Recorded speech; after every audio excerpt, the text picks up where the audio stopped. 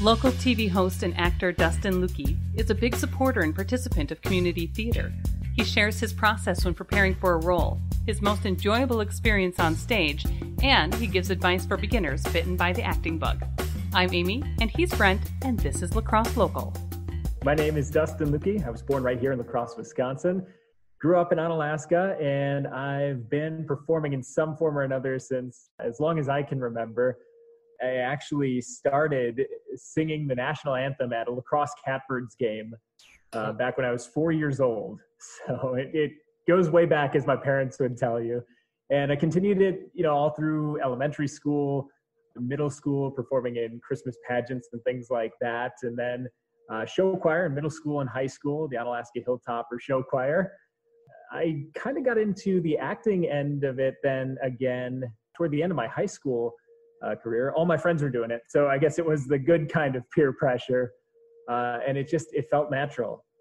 Ended up uh, starting college for theater, and uh, then switching to broadcast, but never staying too far away from it. Uh, I was involved in a web series in college, and then kind of started my career. But once I got into a schedule that allowed me to have evenings free, uh, my wife actually encouraged me to just audition, just audition for a show. She had done one before at the community theater, and she was pushing me to audition. I was reluctant until the day of auditions for Noises Off uh, back in 2013 at LCT. I auditioned, I got a role, and I'm really glad I did because I, I've been hooked ever since again.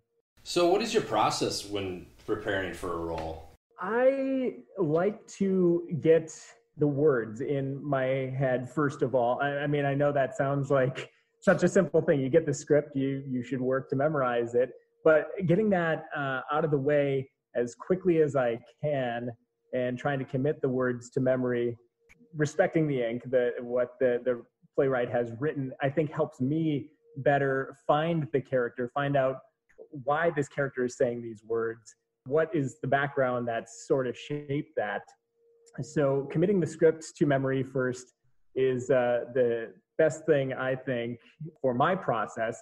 And I actually like to work back to front when it comes to a script. So I'll start with maybe the last scenes and go through that, uh, even the bottom of the page to the top, because then as I'm going through it and continuing to go down the page, it feels to me more natural to try to commit that to memory.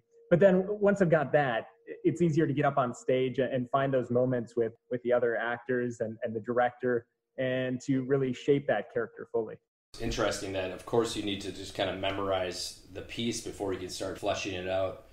Using that what was your most enjoyable role or behind the scenes project I've been happy to be involved both uh, on stage and, and behind the scenes in a number of projects, but I, I, like to point out three in particular that really stick out to me. The first one is the 39 Steps. Uh, that was uh, the second show I got to do at La Crosse Community Theater, and I actually got to do that one with my wife as my romantic interest. So that was a treat in and of itself. But it was a cast of four people I don't know if you know the classic Hitchcock movie, The 39 Steps. It, it, one of his earlier works, but it was a, a serious movie when it came out. It definitely shows the elements of uh, comedy. The play that was written then really plays that up and kind of plays on a lot of Hitchcock themes in a comedic sense. Cast of four, and it's really just creating that theater magic on stage because there's not really an elaborate set or anything uh, it's like a couple of boxes, a lot of different costume changes, and you have these four characters playing uh, upwards of 100 characters throughout the, the play. So it was just that true theater magic. Also, one that's really relevant to me is 12 Angry Men. I was fortunate enough to be cast in that show back, I believe, in early 2015, uh, directed by Alan Ebert. It just is so relevant, especially now because uh, it dealt with issues of race and the judicial system. And we would have uh, talkbacks with some local attorneys and judges too to kind of uh, bring that relevance of these themes that are still happening in society today to this play that was written decades ago. Just a real special group to be a part of, and that's that's one that certainly sticks with me. You're talking about memorizing these roles, multi-character. You said up to a hundred For someone that's uh, wants to jump into this a little bit, or maybe have done a little things in high school, do you have any advice for a beginner? What can someone expect when trying out for a role? Well, the nice thing about a community theater in this area is it seems very welcoming. Uh, when I first auditioned, it had been years since I, I had done a show uh, that involved any memorization. And I was intimidated walking into the building, but the directors I've worked with, the, the fellow actors I've worked with have all been so uh, accommodating. And now I feel like I'm sort of in that veteran role. I would just advise anybody who's interested come out. There is a show for you. Musicals, you tend to have to prepare a little more, singing and dancing, you know, but they'll even work with that. As far as the, the straight plays, the comedies, the dramas go, you generally have to do a cold reading. So just bring the confidence, I think, is the biggest thing. Find that confidence in yourself and, and just be yourself up there. I mean, the last couple months have just been difficult for everybody. I've talked to a lot of musicians and artists with COVID and how they're adapting, you know, doing live streams and things like that. How do you believe the community theater can adapt with COVID in this time that we're living in now? Well, certainly, as you mentioned, the live streams uh, are uh, helpful. I know some of the rights uh, licensing companies have now released some plays that you can live stream, sort of adapting to that, understanding that community theaters uh, need this at this time. But there are also some other interesting ideas I know that are being tossed around. I don't know how much I can say. My wife might not be too happy just yet because nothing's been official, but I know there's a lot of creative ideas uh, going on, not only for performers, but for audiences. So I guess that's a tease in TV terms. Stay tuned. Something good will be coming soon. So, what's next for you in acting? Uh, I've been kind of trying to slow down a little bit since uh, our, our, boys are getting a little older. Unsuccessfully at times because there's just a lot going on and, and it's so addicting to be a part of. I've enjoyed doing the children's shows at the La Crosse Community Theater. Theater for Young Audiences, as it's called, which are great shows for kids, but also I, I find there's a lot of humor for adults too.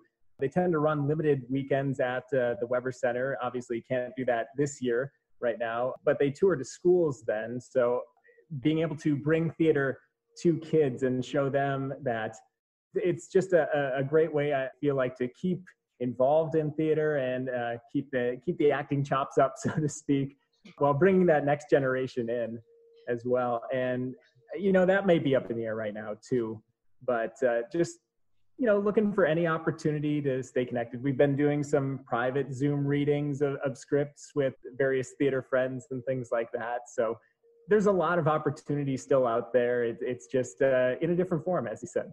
Where can people find out maybe more about you, maybe local La Crosse community theater if they want to get involved? This won't last forever, so yeah. people can start kind of searching. Yeah, I, I, like the the phrase that a lot of uh, arts organizations and community theaters are using right now. This is just intermission. We'll be back uh, soon, hopefully sooner rather than later. So I would say, as far as uh, getting involved with the community theater, check out their website. La Crosse Community Theater has one. They've got a good Facebook page. Appleseed Community Theater is another good one, too. And all these organizations, the community theaters, the pump house, arts organizations, the biggest thing you can do right now to help out is, is providing that financial support. I know everybody's going through a tough time, but those who have the means now is when that support is needed. And if you support them right now, you can kind of feel like even more of a process, part of the process, I feel, because just knowing that during this time when it's a rebuilding phase for a lot of these arts organizations, you're part of that early process. So then when you come and see the shows, when you can have the shows again, it'll be even more rewarding as an audience member, I feel. As for checking out some of the stuff that I've done in the past, you can head to dustinontv.com. That's my website. Uh, if you want to learn more about me and my involvement in the community. And uh, just turn on the TV in the mornings from 5, 4.30 to 7 if you want to see me. La Crosse Local Podcast is a production of River Travel Media. Do you have an interview idea you would like to share with us? Message us on Facebook at La Crosse Locals. Subscribe to the La Crosse Local podcast on your favorite podcast app. If you like us, rate us five stars. We thank you for it.